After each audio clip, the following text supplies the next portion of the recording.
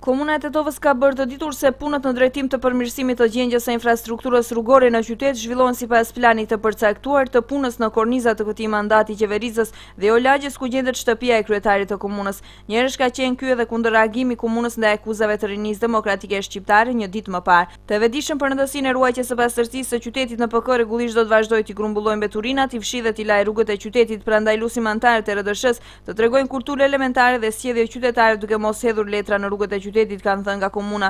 Ata kanë thënë si janë të vedishën për gjengje në rënd të infrastrukturës rrugore ku me dekada shumë pak ose as pak nuk është investuar në vitin më të rënd financiar 2013 që ka ardhur si bësoj e borgjeve të trasheguara.